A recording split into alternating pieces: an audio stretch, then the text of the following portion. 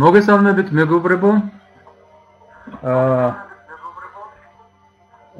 არის აქ წარწერები უკვე რომ ისმის კარგად, ის ის მოგესალმებით. აა დღევანდელ დღეს სამ პანდემიის პირობებში რაღაცნაირად ძალიან მომინდა რომ ეს რა ქვია ძალიან კარგი სიუჟეტი რომელიც ჩვენთან ჩვენთან ჩატარდა საქართველოს თავისუფლება და რომელმაც ძალიან კარგი გამოხმაურება მოიპოვა, რომ ის ის სიუჟეტი, იმ სიუჟეტი დამეწყო დღევანდელი დღე. იმიტომ რომ დადგება მე ხმად ვარ დარწმუნებული მალე ის დრო რომ ჩვენ კიდევ ერთად შევიკრებებით, კიდევ ერთად ვიქნებით როგორც საქართველოსში, ასევე უცხოეთში და თავარია რომ სკაივის ოჯახი, ეს დიდი ოჯახი ერთიანია, ერთი მიზნებისკენ მიისწრაფებს და ამას ძალიან დიდი მნიშვნელობა აქვს. მე მინდა დღეს წარმოგიდგენოთ პრეზენტაცია Skyway-ს ტექნოლოგიებზე. მოკლედ ვიტყოდი აი რამ განაპირობა თუნდაც ის რომ ჩვენ ჩვენ და საერთოდ კაცობრიობას დაჭერდა ახალი სატრანსპორტო საშუალებების და ახალი ინოვაციური ტექნოლოგიების თან შეხება. ფაქტობრივად ამ სლაიდებში ძალიან კარგად ჩანს და მე მოკლედ რამოდენიმე წუთის მანძილზე, ალბათ ნახევარი საათის 40 წუთის მანძილზე გადმოგცემ ყოველივეს. ბევრი თქვენთაგანისათვის ეს ნაცნობია, ალბათ არიან ბევრი რომლებიც ახლები არიან და ეს სამუშაო ფორმატია ასეთი პრეზენტაციისა და მე ვისურვებდი რომ ძალიან ბევრ ადამიანს შემდგომში ეს ყველაფერი გადავცეთ, იმიტომ რომ უამრავ ადამიანმა კიდევ არ იცის ეს. და ის უამრავი ადამიანი არ არის მარტო სადღაც შორს, შეიძლება ჩვენს გვერდით იყვნენ, იმიტომ რომ ეს ნამდვილად ღირს ამ თემაზე საუბარი, იმიტომ რომ დღეს ჩვენ ისეთ პერიოდში იმყოფებით, რომ უფრო აქტუალური და აქტუალური გახდა ეკოლოგია, უფრო აქტუალური გახდა უსაფრთხოება ვთქვათ, ეკოლოგია და რა ვიცი, აბა უამრავი რამ. მოკლედ Skyway Community, რომელსაც ჩვენ წარმოადგენთ, ეს არის პლატფორმა, რომელიც რომელიც მეშვეობითაც ხდება აა ინვესტიციების მოზიდვა და შემდგომში ამ ინვესტიციის წარმართვა სათავო ოფისში, რომელიც აა შემდგომში მიყენებს მას ტექნოლოგიის შექმნისათვის და პროექტების განხორციელებისათვის. მე გახლავართ დავით კათენაძე, ვინც არ მიჩნობს კვალიფიკაციით მასტერი, მანქანათმშენებლობის ინჟინერი. სხვადასხვა სახელმწიფო ორგანოებში მრავალწლიანი გამოცდილების ხელმძღვანელი საკადრმოსაობისა და ასევე Skyway Community-ს სკვილ ინვესტორი.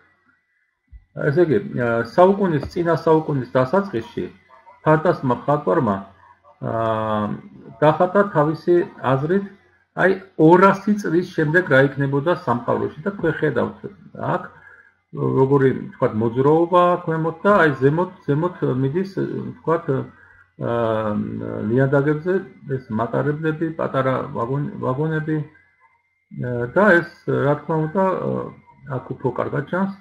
მისთვის ეს იყო ფანტასტიკის დონე, თუნდაც თუმცა ყველა სიახლე, ყველა დიადი, დიადი რამ, რაც შექმნა კაცობრიობის მიერ იწება ისეთ დონეზე ძალიან ხშირ შემთხვევაში, რომ ის თითქოს ფანტაზია და ამაზე მე მოგვიანებით გეტყვით ჩვენი გენერალური კონსტრუქტორის ამ კომპანიის და საერთოდ ამ საქმიანობის დამარცხების ბატონ იუნიცკის ზუსტად ანალოგიურად, ანალოგიურად მის იდეებს ასევე ფანტაზიის ფონეზე აღიქვამდნენ მავანი და მავანი. ну ხედავთ აქ ყოლაფ თითქოს აქ მოძრაობის შედეგად ну ხდება რა მაგრამ რეალობა დღევანდელი დღევანდელი რეალობა არის ის რომ ჩვენ მივიღეთ უზამაზარი ნაკადი ავტომობილებისა ადამიანი საერთოდ კაცობრიობა დასაბამის დღიდან რა თქმა უნდა ცდილობს ყოველთვის რომ გაუჯობესოს პირობები უფრო მარტივი გახდეს მისი მოძრაობა, გადაადგილება, საქმიანობა ეს ნამდვილად ასია პროგრესი სხვანაირად არ მოხდება. აა ნუ იყო სულ რამოდენიმე საუკუნის წინ რომ ურმით ჭირდებოდა თქვათ ჩასვლა ერთი ადგილიდან მეორე ადგილას თქვათ რამოდენიმე დღე და დღეს ის შესაძლებელია ავტომობილით, ტრანსპორტით, ნუ გადაადგილება, რომელიც აა რაღაც რამოდენიმე საათს იწვის. ასევე ამ პროგრესს, რა თქმა უნდა, აა მიიღო ეს პროგრესი მიიღო კაცობრიობა, მაგრამ მივიღეთ შემდგომი რამ.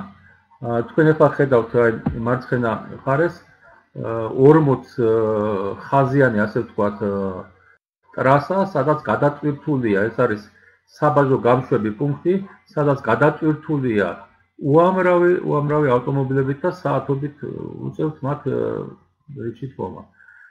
აქ თუ ჩვენ ვიტყვით, აქ არის ბევრი ავტომობილი ძალიან.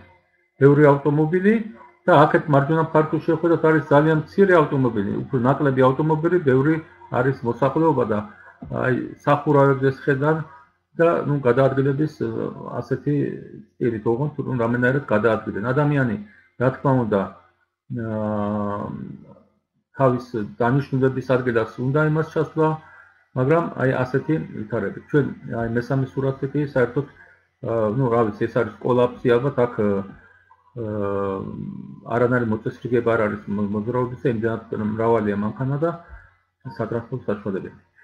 ეხლა იმის კათოლიცნებით რომ გადატვირთულია საგზაო საგზაო ტრანსპორტის მოძრაობა, ასევე მე შემიძლია გითხრათ თუ არა მარტო საგზაო ტრანსპორტი, ასევე ეს ეხება სხვა სხვა ტრანსპორტ საქმეს, სარკინიგზოს, თქვა საჰაეროს, საზღვაოს, მაგრამ არის ერთი რამ კიდე, აი ყველაზე დიდი პრობლემა რომელიც რომელსაც ქმნის საავტომობილო ტრანსპორტი ეს არის ძალიან დიდი ესე იგი სიფილიანობა, ავარიები, უსაფრთხოების ფაქტობრივად ძალიან დაბალი ნიშნული.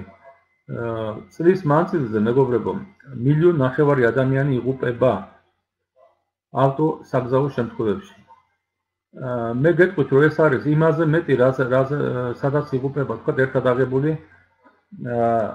ვთქვათ თვითნავით თვითნავით გემით კინიგზის და სხვადასხვა ტერორისტული აქტებში თუ სამხედრო კონფლიქტებში თუ იქურ უბედურებებში ერთად აღებული რაოდენობა. მე მინდა გითხრათ ეხლა ესეთი რამ, რომელიც ძალიან მტკივნეულია.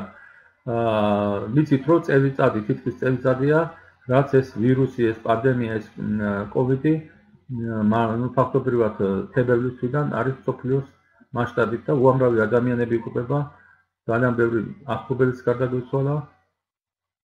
მაგრამ მათი რაოდენობა მათი რაოდენობა მე მინდა ეს შეჩერდეს, რა თქმა უნდა, ყველა ადამიანს აა მაგის სურვილი აქვს, რომ რაც ნაკლები იქნება მსხვერპლი, მილიონ ნახევარს არ აღემატება. და ეს არის ტრაგედია, სოფლიოსი ყველა ჩვენთაგან შეგვეხოდა უამრავი უამრავი ადამიანისთვის ეს ესეთი პირადი ტრაგედია გახდა მაგრამ წარმოიდგინეთ ჩვენ ადამიანები შევეჩვიეთ იმას რომ მილიონ ნახევარი ადამიანი წლის მანძილზე იღუპება ავტოსაგზაო შემთხვევაში და ამას ჩვენ ვღებულობ თითქოს ну ეს ну რა არჩეულებრივი მოვლენა ამიტომ ამ ამასაც გაფიქრება უნდა მე ნამდვილად არა ვარ რა თქმა უნდა საავტო ავტომობილო ტრანსპორტის წინააღმდეგი მაგრამ უსაფრთხოების მეტი ნიშნული უსაფრთხოების მეტი გარანტიით თქვათ იგივე ინფრასტრუქტურის ლოჯისტიკის თქვათ უფრო უკეთესად თქვათ დახვეწით და გაკეთებით რა თქმა უნდა რა თქმა უნდა ჩვენ უფრო კარგ შედეგებს მივიღებთ და საერთოდ გასობრივად ხედავთ თქვენ არა მარტო ავტო ავტომობილებზე საუბარი აქვს თქვენ ხედავთ აქ პორტს სადაც ძალიან ბევრი გემი იწვირდება, კონტეინერებია და ძალიან ბევრი გემი დრეებს ედგანა და ელოდებიან თავიანთ რიგს, როდის მოხდება მათი დაგწურვა. ესე იგი, ჩვენ ჩამოვთვალეთ პრობლემები, საერთოდ არის ოთხი ძირითადი პრობლემა, რამაც განაპირობა და რამაც ესე იგი ბიზნესის ამ პროექტის საერთოდ ხედვას და მის არსებობას და მის აუცილებლობას ბატონი ანატოლი იუნიცკი ამ თემებზე მუშაობდა 40 წლის მანძილზე, მაგრამ ეს პრობლემები არის აქტუალური დღემდე და ძალიან დიდი იმედი გვაქვს და ეს ასეც იქნება, რომ ჩვენი სატრანსპორტო ტექნოლოგიის შემოსვლის შემდეგ ამ ძალიან რადიკალურად სასიკეთოდ შეიძლება ამ პრობლემების შესაბამისად გადაწყვეტა. ეხლა თავარი პრობლემა, რომელიც ერთ-ერთი პირველი პრობლემა ეს არის გადაწყვეტილი საგზაო გზები. და მეორე პრობლემა არის აკვია უსაფრთხოების უსაფრთხოების ნაკლებობა. აა ტრანსპორტი მოგეხსენება საგზაო ტრანსპორტი და მოძრაობს გზებზე გზები გარემო პირობებიდან სოფლიო კლიმატური პირობებიდან გამომდინარე არის სხვადასხვა სახის ჩვენ ახლა პირველ სურათს ვხედავთ ეს ჭაობიანი ადგილსაც ჩავარდნილია ეს არის აი ესეთი ადგილი სადაც ქარბუქი და თოვლი და ნუ არ ვიცი ყველაფერი ერთად არის და ფაქტობრივად ხედველობა ნაკლებია და ძალიან ძნელია მოძრაობა და ვთქვათ იგივე იგივე უდაბნოში გაკეთებული გზები. მე შეგვექნება შემდგომში სლაიდი გაჩვენებთ თუ რა ჯდება 1 კილომეტრი გზის გაყვანა სხვადასხვა სატრანსპორტო დანიშნულების გადასაადგილებლად და თქვენ ნახავთ შედარებას რომ საკმაოდ ძვირად ღირებულია და ძვირი ხდება ყოველივე კილომეტრის გაკეთება იგივე გზებისა.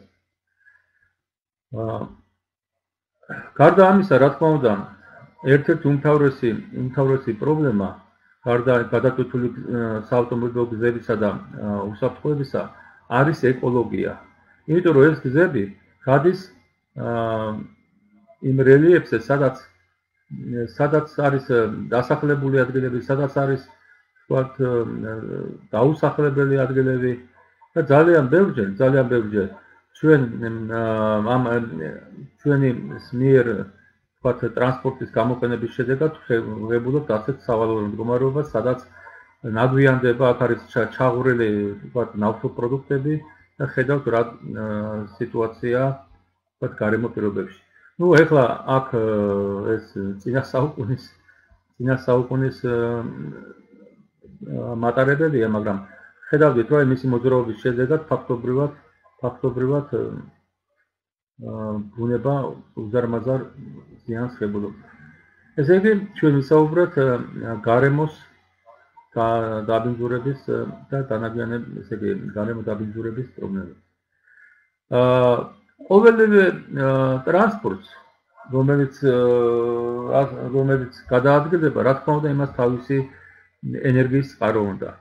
ეხლა ძალიან აქტიური არის და მე მივესალმები ამ ტრანსპორტს, ეს არის ელექტროკარები, ელექტროავტომობილები, რომლებიც ბუნებას ნაკლებად აბინძურებენ, ნაკლებ ზიანს აყენებენ, მაგრამ აქ არის ერთი ნო, როიტყვიან. ელექტროენერგიის წარმოქმნა თვითონ ხდება ამ დროს ატომურ ელექტროსადგურებში ხდება ჰიდროელექტროსადგურებში ხდება თქოელექტროსადგურებში ხდება სადგურებში რომლებიც მუშაობენ გაზზე, ქვანახშირზე, ნავთობზე მხოლოდ 8% არის ჰიდროსადგურების წილი ამ ყოველივეში.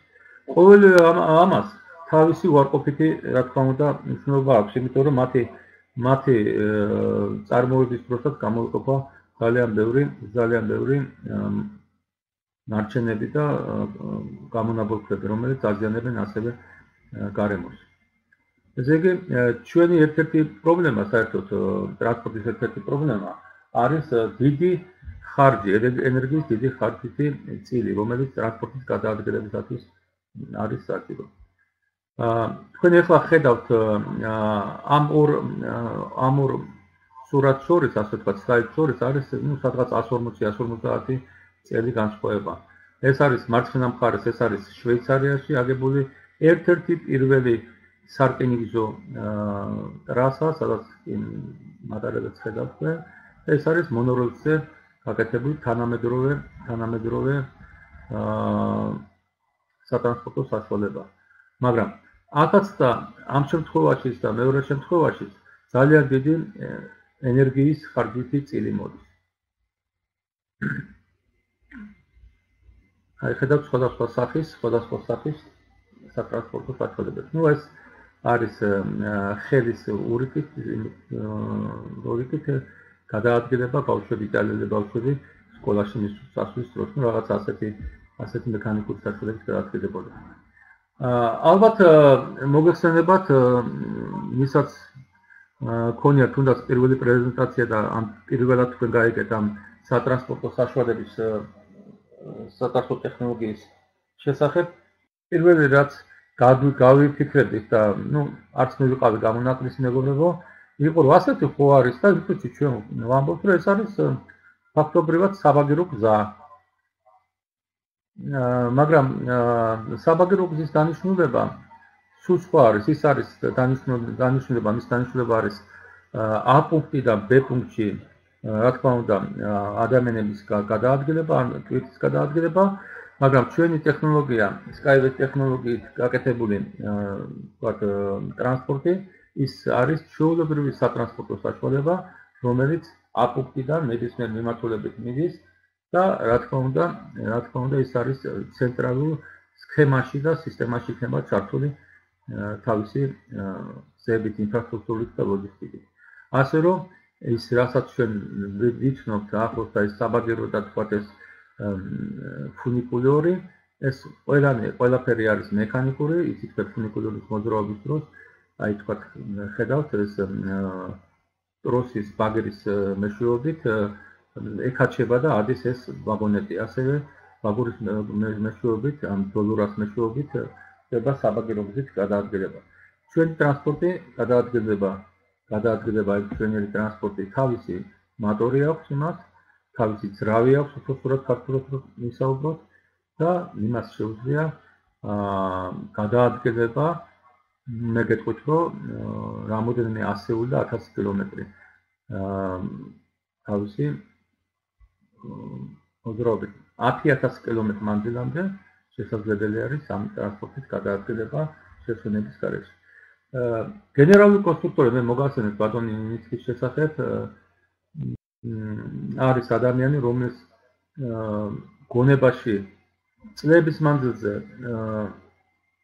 ესე იგი მუშავდებოდა ეს პროექტი მე ერთ რაღაცასაც გეტყვით ძალიან კარგი ფილმი არის ეხლა უბრალოდ ვერ მოახერხე ძალიან ბევრი აი ფილმების ამ რგოლების გადმოკაცვა იმიტომ რომ დიდი მოცულობის არის, მაგრამ იუნისკის აქვს ასეთი კარგი ფილმია იუნისკიზე გადაღებული და ერთ-ერთი მთავარი მოტივი თუ რატომ რატომ გადაწყვიტა ამ ეკოლოგიური უსაფრთხო ტრანსპორტის შექმნა და ტექ ამასთვის შეიმუშავა ტექნოლოგია არის მის დროს თვითონ ცხოვრობდა დაბადებული არის ბელორუსში მოგილოვის ოლქში და აქ ჩანს აქ ძალიან კარგად ამ ფილმში. მე მე შემიძლია ჩაგიგდოთ ამ ფილმის თქვათ ლინკი. სადაც ის ამბობს და ნახულობს მის ადგილებს რომელიც დღესდღეობით არის უკაცრიელი რამე თუ იქ მოხდა ჩერნობილის ატომური ელექტროსადგურის ის ატომური სადგურის აფეთქება ეს იყო სადღაც 40 წლის წინ და დღემდე იქ ადამიანები არ ცხოვრობენ. და ეს არის ის ეკოლოგიური კატასტროფები, რომელიც ჩვენ და სამწუხაროდ ძალიან ხშირად ადამიანის მიერ გაკეთებულ, თქვათ, ჩარევის შედეგად გაკეთებულ ამ დიდ და გრანდიოზულ საქმეებს, ასე ვთქვათ, წყალებში ყვება, იმიტომ რომ აა იყო ინდუსტრიის განვითარებისთვის ბრძოლა, მეთუმეტეს საბჭოთა კავშირის დროს და უსაფრთხოებას ძალიან დიდად არ დაგვიდებდნენ. ეს ასე მისი ადამიანების და მისი მეობის გათნობისათვის, თუმცა ბატონ იუნიცკის აქვს 20-მდე გამოგონება, არის 200-მდე ისე რა ქვია 200-მდე გამოგონება, არის 20 საავტორო წიგნის ავტორი და უამრავი და უამრავი აკადემიის უნივერსიტეტების წევრი და საპატიო საპატიო ადამიანი. ეხლა რისი თქვა მინდა? აი აი ძალიან გთხოვთ დაუკვირდეთ ამ სიტყვებს, რასაც ამბობს ბატონი ინიცკი. ჩვენ ვქნით სატრანსპორტო ინფრასტრუქტურის დარგს, რომელიც თავისი პოტენციალით არ ჩამოვარდება ისეთ დარგებს, როგორიც არის საავიაციო, სარკინიგზო და ავტოსაგზაო.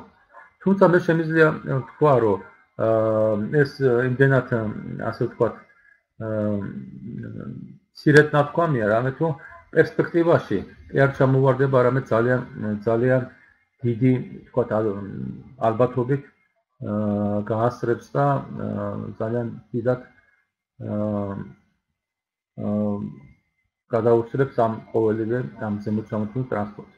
თუმცა კიდევ მეორე ჩვენ ჩვენი მიზანი არ არის თქვა ის რომ აბსოლუტურად და მე ძალიან ვთქვი პრეზენტაციის დროს ადამიანებს არ დარჩეთ ისეთი შტაბეჭლება რომ ჩვენ ვარ წინააღმდეგი ავტომობილებისა, ვარ რკინიგზისა, ვარ ყველაფერს თავისი ადგილი ექნება, უბრალოდ ადამიანს ექნება საშუალება.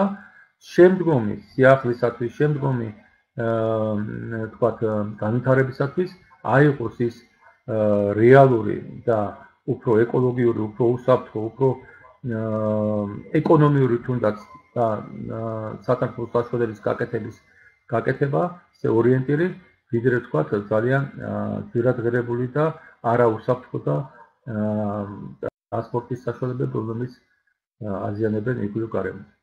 ეხლა მე თქვენ გაცნობთ სლაიდს, სადაც თქვა გვიდა A პუნქტიდან B პუნქტში გადასვლა და ამ დროს რა ხდება თქვა აქ არის პატარა თქვა რაღაცა ბინარი გადის აქეთ არის გორაკი აქეთ არის ბორცვი რამდენადაც უნდა მოხდეს აქ გზის დაგება რომ გავიდეს ტრანსპორტი როგორ ხდება ახლა ამ პერიოდში აი ამ დროს უნდა შეივსოს ეს ყოველები ხო ის მოიკვეთოს ეს მოიჭრას ეს გორაკი ამოვისოს ეს ბინარის თუ ტბის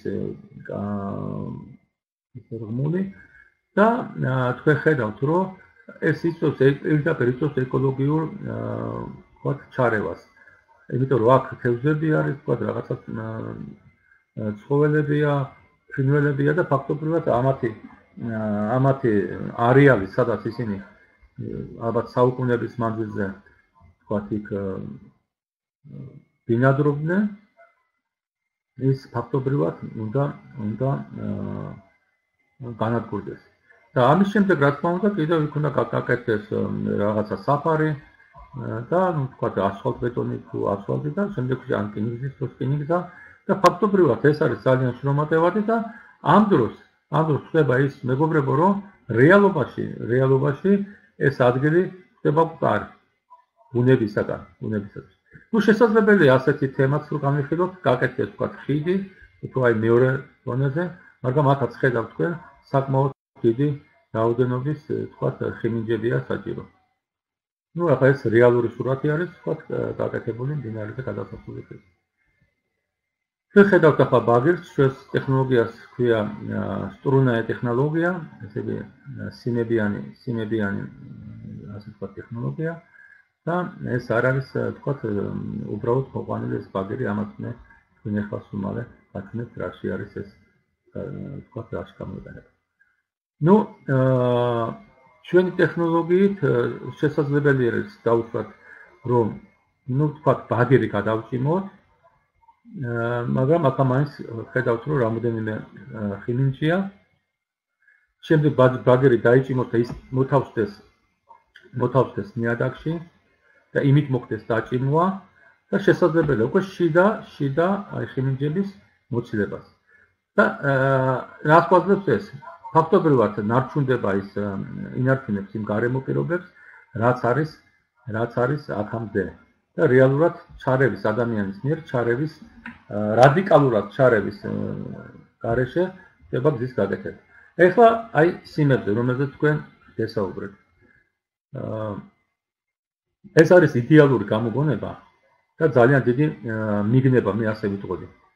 აა ეს არის ბაგერი, ეს არ არის უბრალოდ სიმა, ბაგერი და ბაგერი, რომელიც შესული არის რელსში, корпуსის, ესე იგი, რელსის корпуსში.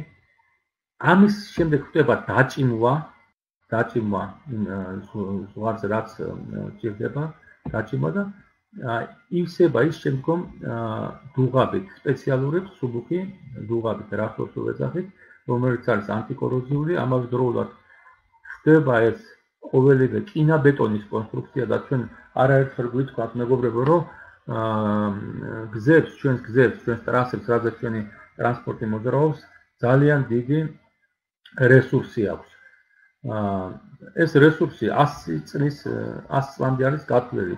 როცა მე შემიძლია გითხრათ, რომ იგივე საავტომობილო გზებს 10-12 წელია კინიგზის რელსები უნდა გამოიცვალოს ყოველ 13-14 წლის მანძილზე და ასე შემდეგ და ასე შემდეგ. და ამ დროს ჩვენი თქვათ სატრანსპორტო საშუალებები, რომლებიც იმოძრავებენ ამ ტრასაზე, ასე თქვათ, ამ ეს არის იგივე გზა, ამის რესურსი არის 100 წელი, იმიტომ რომ კინა ბეტონის კონსტრუქცია მოგეხსენებათ 100 წლის მანძილზე სიმტკიცეზე მუშაობს. და ზემოდან ეს არის კორპუსი, ასე თქვათ, თავი, თავსახურავი, რაც ისა, რომელსაც რომელსაც შემდეგ დადის, ვთქვათ, სატრანსპორტო საშუალება. მე მაქვს ეს რეცი ნანახი თვითონ და ძალიან ისეთი ვთქვათ, ჭრილში აი, რამოდენიმე ტიპის გზა არის ძირითადად. ეს არის, ვთქვათ, დაჭიმული და ვთქვათ, ხისტი გზა. არის ფერმა, ფერმული გზა, სადაც მოძრაობა ხდება, შესაძლებელი არის როგორც ზემოდან, ისე ქვემოთ აკეთებული მიმართულებით და არის დირექტადი გზა. აი ხლა სათითაოდ შეგვიძლია ჩვენ ამის განხილვა თუ რას ხვაძლებს ფერმული გზაზე მოგახსენებთ თქვენ, მაგრამ ფერმული გზას აქვს კიდევ ერთი ძალიან დიდი დადებითი რამ, როდესაც მას აქვს, აი ხედავთ თქვენ, შესაძლებელია მასში გატარდეს როგორც კომუნიკაციის საშუალებები, ასე ელექტრო მაღალზაბის ელექტრო დენი, ასევე აა თქვა ინტერნეტი და სხვა სხვა კომუნიკაციის საშუალებები. ფაქტობრივად, ფაქტობრივად ის იქნება დაცული ძალიან გარემო პირობებისაგან, დაზიანებისაგან და ეს არის ძალიან ძალიან საინტერესო რა. აი, ხედავთ თქვენ, თქვათ ჭრილში როგორ არის. ახლა იქ აა თვითონ ამ სიმების რაოდენობას გააჩნია რამდენად საჭიროებს. თუ არის ახლა ის სატვირთოზე გათვლილი ან ძინე თქვათ სატრანსპორტო საშუალებებზე, რა თქმა უნდა, იქ მეტია. თუ თქვათ არის ტურისტულზე ან თქვათ მცირე საშუალო მცირე დატვირთვის თქვათ გადასარნები უფრო ნაკლები იქნება შესაბამისად. თქვენ ახლა ხედავთ აი ბაგებით გაკეთებულ ხიდს. ეხლა რატო ეს არის ფოტომონტაჟი მეგობრებო და გვერდით არის გაკეთებული ეს არის რიგის ხიდი ვარტები და გვერდით არის ანალოგიურად გაკეთებული ჩვენი სატრანსპორტო საშუალება სადაც მოძრაობს ჩვენი იუნიკარები. ესე იგი ეხლა რატო არის ეს შედარება ასეთი თქვა რამდენ ხარჯში არის ეს აი რა ხარჯებთან არის დაკავშირებული რა დროსთან არის დაკავშირებული და ამ დროს ჩვენ შეგვიძლია ჩვენ სატრანსპორტო საშუალებები მიმართოთ ძალიან მალე და ესე იგი ვადებში შესრულდება შესრულდება და ძალიან ეფექტური და ძალიან ნაკლებ ხარჯებთანა ულამაზესია დამერცხნებით მე არაერთხელ მქონდია ბედნიერება რომ ჩემი მეგობრებთან ერთად რო ყოფილიყავით, გავსერნებულიყავით ამ სატრანსპორტო საშუალებებით და მართლაც რო რაღაცა ისეთი ეფექტია, თითქოს აი რაღაცა აი თვითონ ეხები, როცა ეხები ამ სიახლეს, თვითონ ძალიან კარგი და ძალიან შემდგრილია. მე წეღა მოგახსენეთ, რომ საბაგირო გზისგან განსხვავდება ჩვენი სატრანსპორტო საშუალება, იმიტომ ეს არის ტრანსპორტი და ფაქტობრივად მას აქვს ძრავი. ესე იგი ძრავი ბოლბა ბორბალი ასე რომ თქვა რომელიც პირველად მე მინდა გითხრათ რომ გამოყენებული იყო აა კოსმონავტიკაში როდესაც თვარეზე გაგზავნეს პირველი თვარ მავალები ასე თქვა სხვათა შორის ნოემბრის თვეში ამასინაც გადაცემას უსმენდი შესრულდა 50 წელი რაც პირველი თვარ მავალი გადასხეს თვარეზე.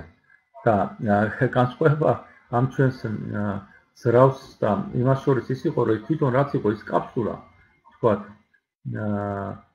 იმაზე დიდი იყო ის ორი თქვათ ის თვითონ ეს ბორბლები რომელზეც ის რომელთაც ის მოძრაობდა. და დროთა განმავლობაში რა თქმა უნდა ბატონი ნუნიცის უზარმაზარი დამსახურებაა რომ დახვეწა ეს ყველაფერი გამოიყენა ამ ჩვენს ტექნოლოგიაში მოგეხსენებათ ბატონი ინსი კოსმონავტიკაში მუშაობდა 10 წლებია და ის იდეაც რომ შესაძლებელია ასეთი მოწინავე ტექნოლოგიების გამოყენება სახალხო მრეწველობაში და ჩვეულებრივ ყოველდღიურობაში, იქიდან მოდის ერთ-ერთი მისი мотивация ეს იყო. ну ახლა მოძრაობის სისტემებს ვხედავთ. აი ეს არის ის ძრავი ბორბალი, რომელზეც გითხარით. ეს არის ბერლინის გამოფენა, სადაც მეც მქონდა ბედნიერება 2018 წელს ყოფილიყავი. ახლა მინდა გავაკეთოთ ასეთი რა შედარება. არის ავტომობილი, რომელიც ну ყველაზე ერთ-ერთი ყველაზე სწრაფი ავტომობილი თქვა ბუგატი ბუგატი არის აღებული რომელიც მოძრაობის დროს თქვა თვის მოძრაობს 60 კმ/სთ სიჩქარით. ესე იგი საწვავის ხარჯვა ესე ქარის წინაღობასთან არის 30% და თვის 300 კმ-ით მოძრაობს ერთ-ერთი ყველაზე სწრაფი ავტომობილია მეთქი იმიტომ მისი ხარჯვა საწვავის ხარჯვა 90%-ზე არის ესე იგი ფაქტობრივად წინაღობა ესე იგი ამ ტრანსპორტის გადაადგილებას ეს არის ჰაერის წინაღობა რომელიც რომლის მეშვეობითაც ფაქტობრივად აი ასეთი რაოდენობის საფუძველი ჭირდება. ეხლა გავაკეთოთ შედარება. აა იგივე ეს უგატი და კოეფიციენტი აეროდინამიკური წინაღობისა. რომელიც ჩვენი სატრანსპორტო საშუალებას ეს არის სწრაფმავალი სატრანსპორტო საშუალება, რომელსაც 500 კმ/სთ სიჩქარე აქ რა ხდება?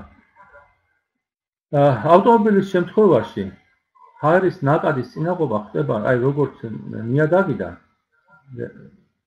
აა საგზიდან რადგან მოძრაობს ასევე კიდევ თქვათ თვითონ მანქან მანქანის თქვათ შეხების დროს და ხდება თქვათ აი ასე ასეთი მდგომარეობით მიდის მანქანა, მაგრამ აქ არის მეორე საკითხი. გასვლის დროსაც, როდესაც მიდის ავტომობილი, ამას ქვია ტურბულენტობა და აი ხმულები, ხმულები, აი იამა, იამა, აი თუ ვინმე მოხვედრი და ადრე თქვათ ფიქრნავის თქვათ ამ მოლებში სიჯდოს აი უცებ ვარდას. გასული ჰაერის რომელიც გადის ის ნაკადი რომელსაც ჭრის ეს თქვათ მანქანა ის ბრუნდება უკან და აი როგორც როგორც თქვათ ორბო ისე ისე აკავს ესე იგი შეკავებაც ხდება ამის აი ამ ავტომობილის ესე იგი მოქმედებს არა მხოლოდ წინსვლის დროს ჰაერის ნაკადი, არამედ გასული ჰაერის ნაკადიც მოქმედებს. ამიტომ ძალიან დიდი ენერგია ჭირდება მისი გადაადგილებისათვის. აქეთ ნახოთ, აი ისე არის გაკეთებული ჩვენი ტრანსპორტი, რომ ჰაერის ნაკადი უკან არ ბრუნდება და მას არაფერს შემაკავებელ დამამუხრუჭებელ როლს არ თამაშობს და ის თავისუფლად გაედინება.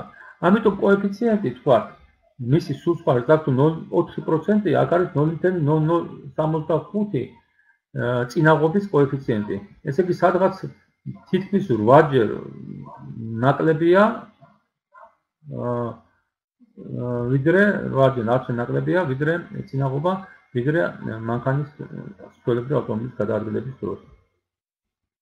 აი ეს ჩვენი ულამაზესი დელფინჩიქს ვეძახით ჩვენ ესეთი ფორმის სატრანსპორტო საშუალება, რომელიც 500 კილომეტრს სიჩქარის დანამით არის. ну, აქაც схემაზე ჩვენ შეგვიძლია ვთქვა თუ რამდენი ვთქვა ენერგიის ენერგია გადაყვანილი არის აქ მეგობრებო, ვთქვა შესაბამისობაში ნავთობის, ვთქვა აი бенზინის, დიზელის აა ვთქვა შესაწყისობაში თუ აა ვთქვა რამდენი 14 კაციან ვთქვა იუნიბუს ზეგი ჭირდება თქო 100 კილომეტრზე. და რამდენი ჭირდება? თქო ესე იგი ნუ ესე იგი წინაღობა რამდენი არის? თქო მასე და რამდენი ჭირდება? თქო ექსპლუატაციან ამ დეფიციტის დროს. ნუ ეს ისეთი თემებია თქო ესე იგი ჩვენ შევეხეთ წეღან ძირითად ოთხ პრობლემას. ესე იგი ჩამოთვალოთ კიდე გავიმეოროთ ეს არის გადაკეთებული საგზაო გზები ესე იგი უსაფრთხოების ნაკლები ნაკლებობა გარემო დაბინძურება და დიდი ენერგო განახარჯები. აი მე თქვენ შეგფრთით წეგან გაჩვენებდით გაჩვენებდით შედარებას სხვადასხვა სატრანსპორტო საშუალებებთან. ეს წვანე პატარა არის ჩვენი Skyways სატრანსპორტო საშუალება.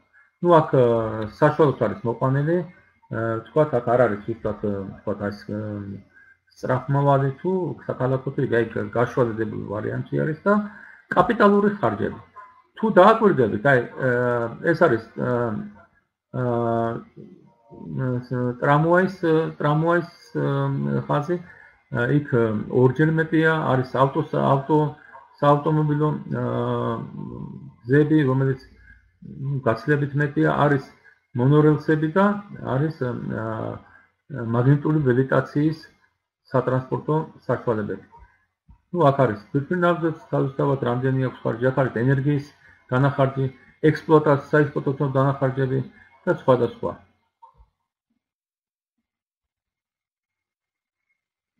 აა მე შემიძლია ახლა გაჩვენოთ თუ რა ძდებოდა მე თქვენ წეგან შეგვიძლია გაჩვენოთ სლაიდს თუ რა ძდება 1 კილომეტრი გზის გაყვანა.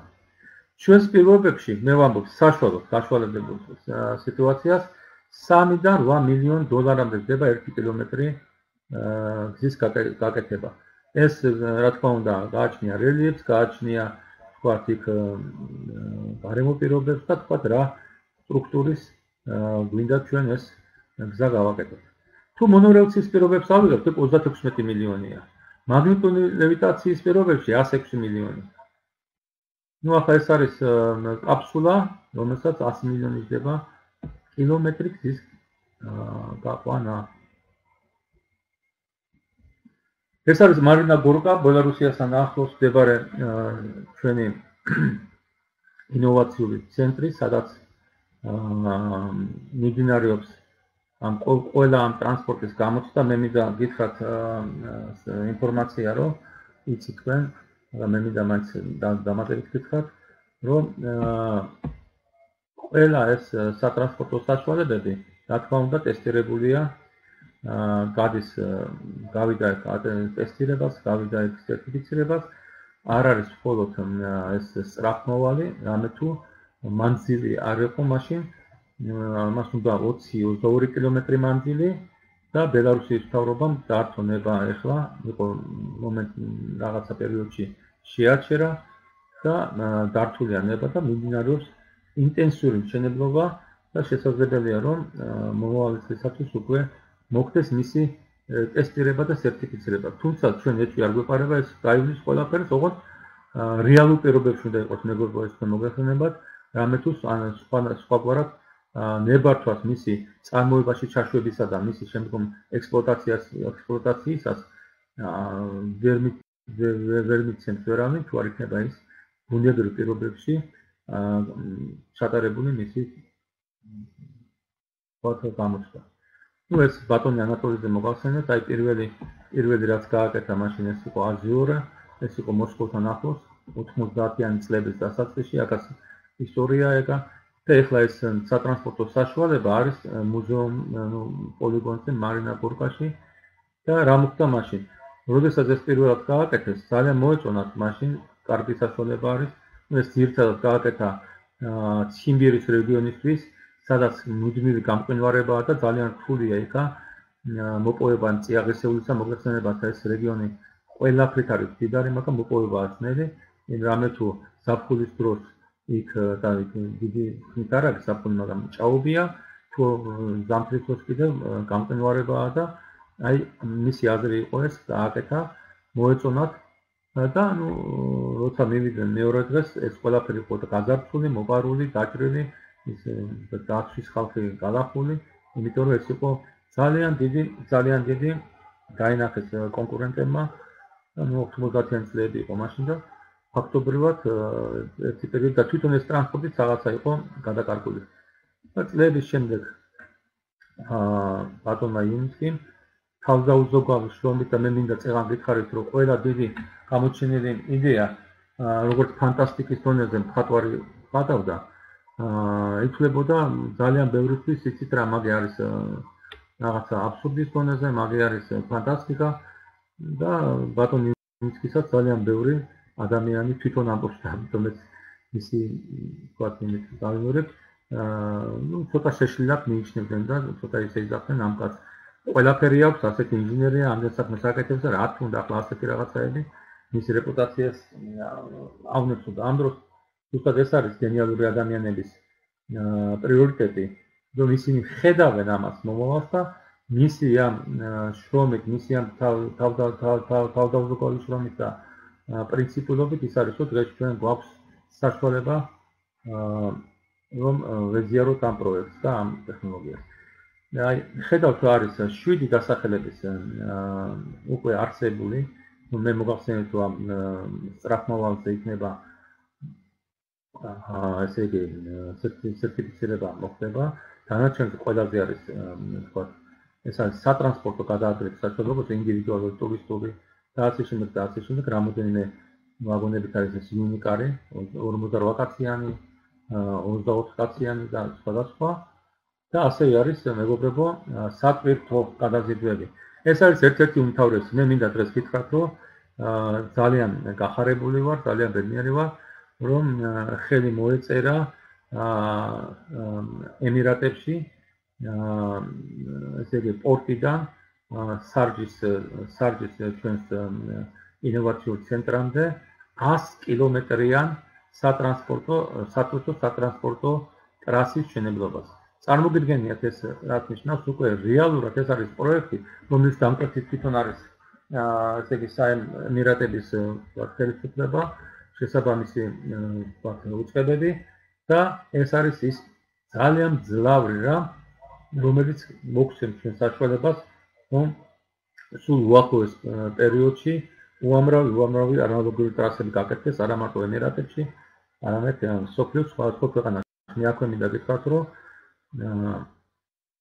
სამ პროექტზე უკვე ხელი მოწერილია და მინიმუმ 20 პროექტი ის დამუშავების ეტაპზეა. თქვენ ხედავთ ახლა აი გადაადგილების როგორი სისტემა იქნება და ეს კი არის ერთობით ფოტომონტაჟი, მაგრამ ეს რეალობასთან ძალიან ახლო არის და თქვენ ამას ნახავთ. ულამაზესია, მეგობრებო, ულამაზესია ეკოლოგიურად მიმდინარე თქვა თვალსაზრისით და ვიზუალ თვალსაზრისით. აი ეს ბერლინის კონფერენცია სადაც 2018 წელს დადებოდა შემიძლია გითხრათ რომ ეს კონდა აქ ბედნიერება. თვითონ ბატონ.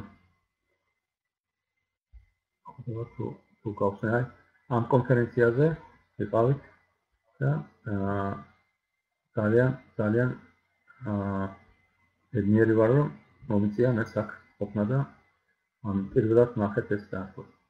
ეს შესაბამისობის სერტიფიკატებს რომელსაც უჩვენებს ბატონი ინიცი და ეს არის არაერთი და არა ათი სხვადასხვა ქვეყნის სხვადასხვა ძალიან კომპეტენტური ძალიან ავტორიტეტული ორგანიზაციების მიერ გადაგმით მინიჭებული დიპლომები, სერტიფიკატები და ასე შემდეგ. ეს ყოველივე რა თქმა უნდა ერთი ადამიანის მიერ ვერ გაკეთდებოდა აქ არის ძალიან დიდი გუნდი.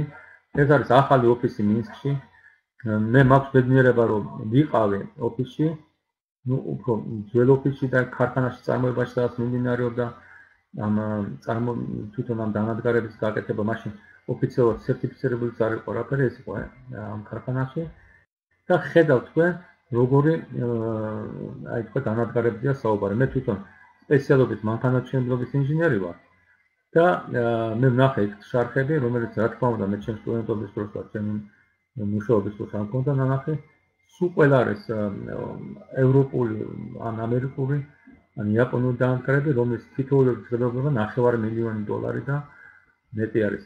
ფაქტობრივად და მე მინდა ამავდროულად აღვნიშნო, რომ ბელარუსიას აქვს ძალიან ძლავრი საინჟინრო კადრები, დღეს დღეობით მუშაობს 1000-ზე მეტი საინჟინრო კვალიფიციური კადრი, რომელიც ამ პანდემიის დროსაც ფაქტობრივად არ შეჩერებულა ეს მუშაობა და ყოველდღიურ რეჟიმში ის მუშაობა მიხვეწება და ჩვენ სულმალე ნახავთ შედეგებს.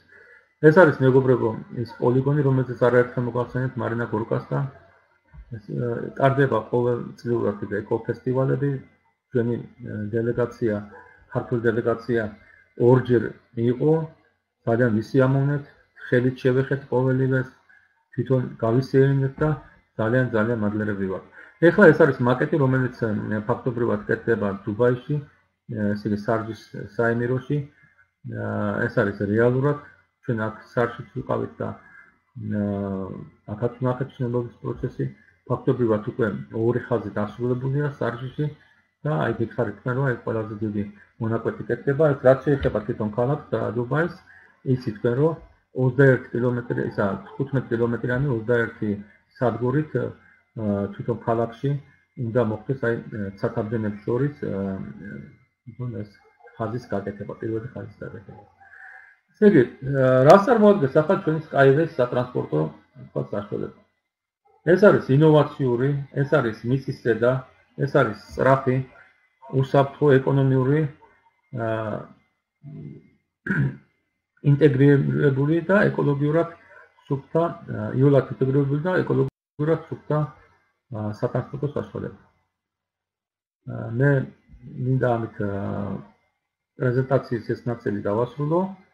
აა ფიქრით მადლობას ყურადღებისათვის და ეხლა მინდა აა აა გესაუბროთ რამოდენიმე წუთით თუ რას გვაძლევს ჩვენ. ვინც ვართ ინვესტორები, ეს კომპანია, რა საშუალებას გვაძლევს და რა შეგვიძლია შევთავაზოთ კიდევ უამრავ ადამიანს. მე მინდა გითხრათ ერთი რამ, მეგობრებო. და გაჩვენებთ მე თქვენ აა აი ცოტა ხანში გაჩვენებთ მე შედარებას სხვა სხვა კომპანიებთან მიმართებაში. ნებისმიერი კომპანია, აი ნებისმიერი კომპანია, რომელიც შედის სხვა ქვეყანაში, აი თქვა დავიღოთ Amazon-ი. ავიღოთ თქვა Alibaba, ავიღოთ თქვა ისეთი ცნობილი ბრენდებს ვამბობ, ხო? ის იმ ქვეყანაში რომელშიც შედის და უამრავი კომპანიაა ჩვენთან შემოსული არა იქ ყავს იმას თავისი წარმომადგენლობა თქვა თავისი ლოჯისტიკა თავისი ოფისები თავისი გაყიდვების თქვა სისტემები მაგრამ არასდროს არ თავაზობს იმას იყო შენ იმ სათავო კომპანიისა სათავო კომპანიის მეწილე ან როგორც თანამონაწილე. ხო გამიგეთ რას ვამბობ. და აქ გვაქვს ჩვენ საშუალება რომ ჩვენ ნებისმიერი ჩვენთაგანი როგორც ვთქვათ გავხდით აქციონერები არა? მოვედით მოგვეწონა ნახეთ. ვენდეთ იმ ადამიანს თუნდაც ვინც მოგვიპატიჟა მის გამოჩნდებას მის ურთიერთობას და შემდგომში უკვე ჩვენ თვითონ გავხდით აქციონერები ჩვენ ხვდებით მეწილე ტექნოლოგიების ამებობებს და ამავდროულად ჩვენ ვღებულობთ უზარმაზარ სარგებელს იმის და მიუხედავად დღეს ის ექსპლუატაციაში არის თუ არა გაშვებული. და ეს სარგებელი 2014 წლიდან უკვე არის რომელთაც დაიწყო ამ თქვა Sky იგი Cloud Investing-ის ესე იგი სახალხო დაფინანსების აა მიერ აა აქ ესე იგი აქციების ინვესტიციების მოზიდვა ინვესტიციების მოზიდვა და მე მინდა გითხრათ რომ ეს იყო დაყოფილი 15 ეტაპად ჩვენ დღეს მე-14 ეტაპის დასასრულს ვარ ალბათ დღე-დღეზე ყოველდღე ველოდებით და ზუსტად ახლა მაგას ვერ გეტყვით.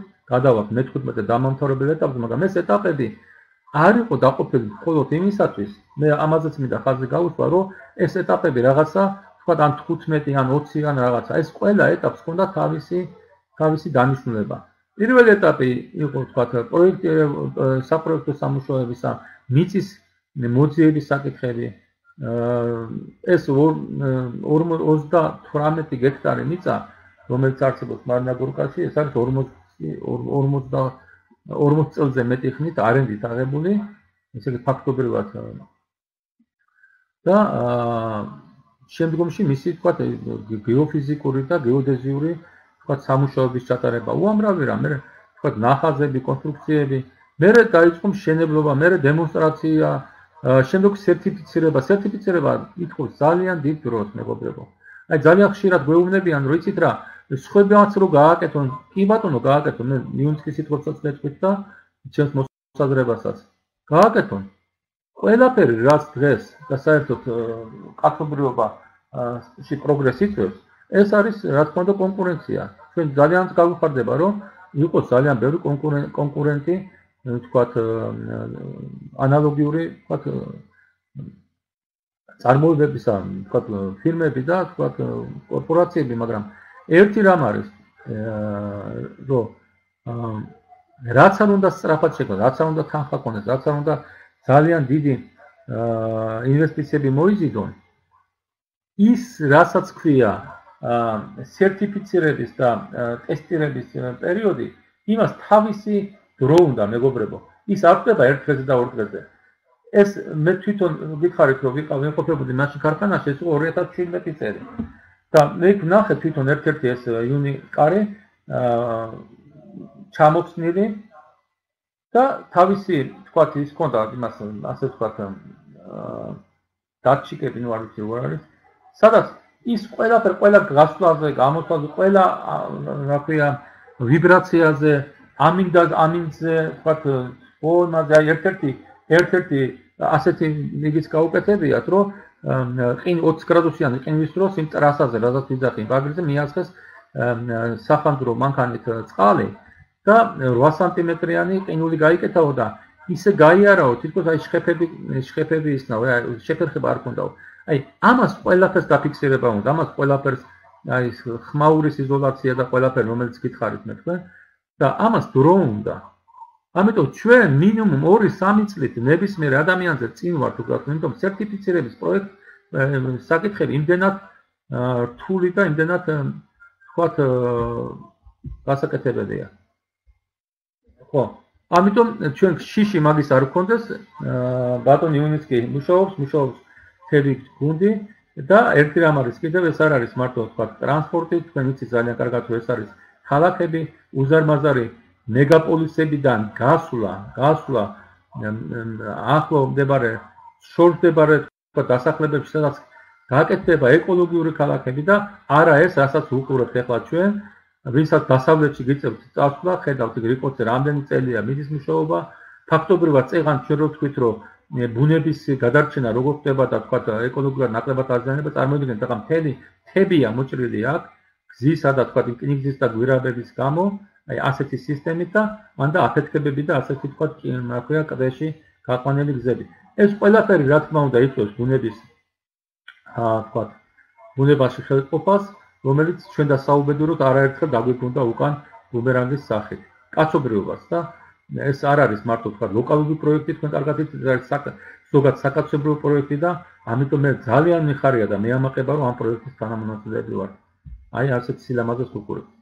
და აა პატარა мотиваცია მინდა გითხრათ, რას გვაძლევს ჩვენ ეს პროექტი. ჩვენ პროექტი გვაძლევს შემოსავლებს. ძალიან სუკე შემოსავლებია მეგობრებო, ყველა ჩვენი ჩვენს მიერ მოწვეული ადამიანისგან, რომელსაც ჩვენ აუხსნით, აა ვეთყვით, აა დავაინტერესებთ მათ მიერ განხორციელებული თქვა ინვესტიციებიდან, იწება შესაბამისად 15%-დან და სხვა სხვა საფეხურზე სხვადასხვა დონეზე სხვადასხვა პროცენტია.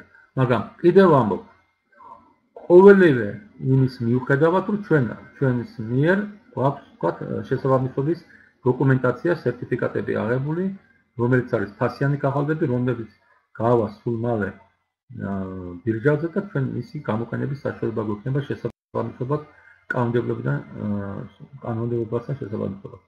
ეხლა წეღან როს შეკვირდეთ მე მინდა ის გაჩვენოთ ერთი რამ. აა აი კომპანიების დივიდენდები.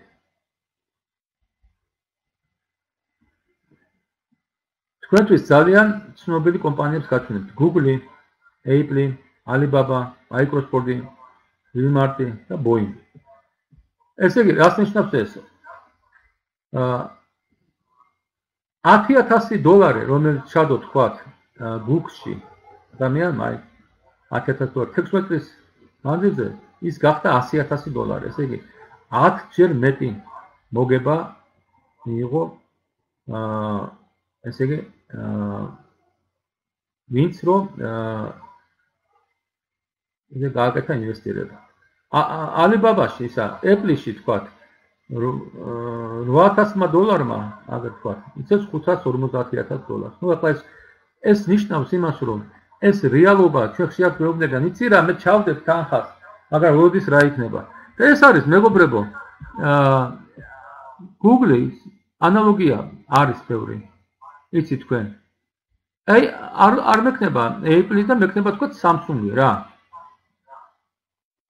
ან Nokia ან რამე. არ არ არაფერი არ შევდება ამით ხო? უამრავი სხვა სხვა რამ არის თქვა Alibaba თუ არ იქნება გადამდები თქვა მე თქვა მასთან თქვა იგივე სხვა თქვა სხვა სისტემაში. მაგრამ აქ არის ერთი რამ მეგობრებო. ჩვენი ტექნოლოგია მართლა უნიკალურია და წარმოიდგინეთ ახლა ჩვენს მიერ გაწეული ინვესტიცია რომელიც ესოდენ საჭიროა ესოდენ აქტუალურია, ესოდენ მომავლის პროექტია და მე გეტყვით კიდევ ერთ რამეს რომ ამ კორონავირუსის და ამ რა ქვია მას პანდემიის დროს, როდესაც მაქსიმალურზე იყო საუბარი, ვთქვათ, დიდი მასშტაბის ვაგონებზე და ვთქვათ, გადაადგილებაზე, ეხლა ძალიან დიდი მოთხოვნილება არის ინდივიდუალური ან კომპაქტური, ვთქვათ, 6 კაციანი, 8 კაციანი გადაადგილების საშუალებები, რომელსაც ფაქტობრივად ფაქტობრივად ჩვენი კომპანია დღესდღეობის ვაკეთებს და ესეც ესეც ნიშანდობლივია მეგობრებო. ერთი წამით აი გავაკეთოთ ახლა ჩვენ შედარება. იგივე ამ ეკონომიური ამ პანდემიის დროს და ეკონომიური თქვა ამ კოლაფსის დროს ძალიან ბევრმა კომპანიებმა იგივე Amazon-მა 3.5 მინუსი წავიდა. Google-მა 3.0-ით, Facebook-მა 1.86-ით, ასე და ასე, Apple-მა 3.58. თუმცა რა თქმა უნდა, უზარმაზარია მათი მოგება. და ამ დროს მე მინდა ერთი რამ გითხრათ. ძალიან ხშირად გვეკითხებიან, რომ აიცი რა, როდის გავალთ, როდის გავალთ. გავალთ მაშინ ბირჟაზე, როდესაც იქნება რა თქმა უნდა, ამის მზაობა, იქნება ყველა ის მოთხოვნა შესრულებული და ძალიანაც მე ვიტყოდი ერთი ხილ გაგვემართლა თუნდაც აი წყალებში იმიტომ რომ ჩვენ რო გავსულიყავით ახლა ბირჟას, თქვათ, ყველაფერი არის საუბარი. ახალი კომპანია და ამ დროს მოხდარიყო ეს უბედურება. რეალურად ჩვენი აქციების ფასი დაეცემოდა, იმიტომ რომ აი უზარმაზარი, ეხლა გაჩვენეთ, მე თქვი რა მოგებებზე აქვს საუბარი და იგივე Google, Facebook, Amazon-ს ხო? ამათ გაუჭირდა ამ პანდემიის დროს. და ამიტომ ხშირად ხალბატონი მზია ამბობს, რომ და მე ვთქვი, რომ ღმერთს უყვარვართ და მართლა უყვარვართ იმ დროს გავალთ ჩვენ. ისე მომზადებულები, რომ ჩვენი აქციები იქნება ძალიან მზარდი, ძალიან რეალური, ძალიან აი კარგი მოგების და ერთი რამ არის კიდე მთავარი, ჩვენი საქმე იქნება მთავარი, რაზეც ჩვენ არასდროს არავისთან არ შეგწყვებათ. რაც არ უნდა წლები გავიდეს, რაც არ უნდა ადამიანებთან რადონის და რა კატეგორიის ადამიანებს არ შევხვდეთ, რამე თუ ჩვენი ჩვენი თქვა საქმე არის საშვილიშვილო ეკოლოგია უსაფრთხოება რა ვიცი გარემოს დაბინძურებისგან ფაქტობრივად ძალიან დიდი ესე იგი მისი ხსნაში ძალიან დიდი როლი შეტანა და ასე რომ მე მოგიწოდეთ და ნო მაქსიმალურად მაქსიმალურად. ყველაფერს ნაცნობს ზოგს უცნობსაც ახლა ლიდოგენერაცია დაიწყება და ჩვენ ქონდა ის გამოცდილება ახლა უფრო სერიოზულად მიუძგეთ, უფრო გულით მიუძგეთ, მით უმეტეს ამ პირობებში, რომ ფაქტობრივად სახში არის თელი სოფლიო ჩაკეტილი და რომ შესაძლებელია ძალიან ბევრი ადამიანი და ძალიან ბევრი ადამიანი უბრალოდ ელოდება რაღაცა სიახლეს, რომელსაც უნდა სწორად ნორმალურად მიწოდება. ამიტომ მე ვიტყოდი რომ მომავალი მართლა არის ჩვენი ტექნოლოგიისა, Skype-ისა, წარმატებებს გისურვებს ყველას და მე ამით მინდა დავასრულო ჩვენი დღევანდელი პრეზენტაცია და აბა მოვალ შეხვედრამდე. კარგად სანდებოდით.